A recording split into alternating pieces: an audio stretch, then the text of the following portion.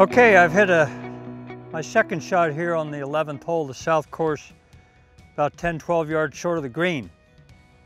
And I actually have four different options.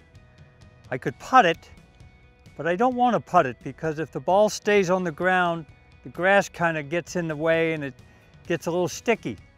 And if I mishit it, I don't go halfway to the hole.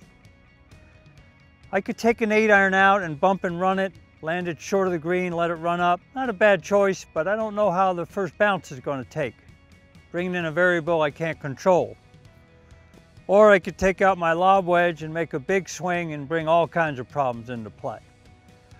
When I play with the members here and amateurs, I see a kaleidoscope of shots from these positions.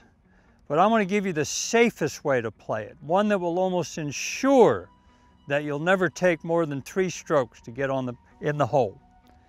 We're going to take our most lofted hybrid and we're going to choke down on it to make it feel like the length of our putter. Then we're going to use our putting grip and our putting stance. Then we're going to take a long putting stroke. So you say, why would I do that without my putter? Well, the hybrid has a little bit of loft on it. So the ball is going to get airborne, it's going to bounce over the grass with topspin.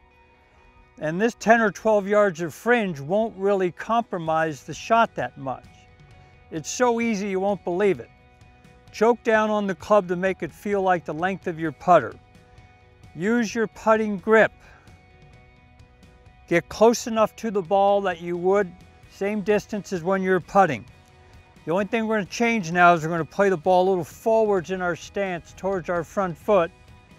And then we're going to take a long putting stroke and the ball should get bouncing over the grass and hopefully trundle up by that hole.